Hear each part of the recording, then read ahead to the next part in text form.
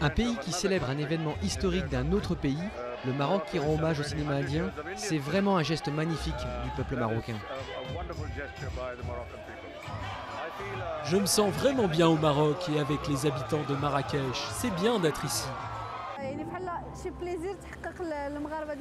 C'est un vrai événement pour les fans du cinéma indien, surtout avec la présence de Shah Rukh Khan, qui n'était qu'un personnage pour eux, mais qui est devenu une réalité.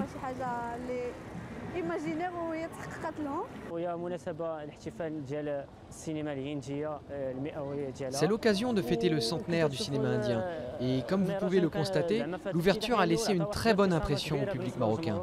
Et en particulier aux habitants de Marrakech, qui aiment beaucoup le cinéma indien, puisque nos parents et nous avons grandi avec ce cinéma. Et nous l'aimons beaucoup.